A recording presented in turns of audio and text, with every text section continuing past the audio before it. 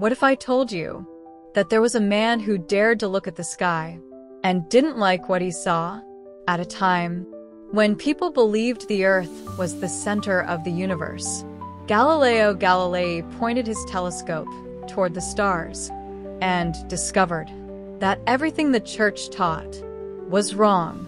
He saw moons orbiting Jupiter, and that could only mean one thing. Earth was not the center of anything. They called him a heretic. They judged him and forced him to take it all back. But as he whispered, Eppur si muove, and yet it moves.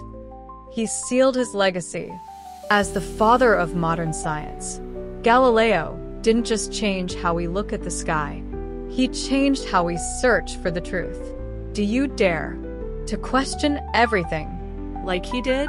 Subscribe and keep exploring stories that change the world.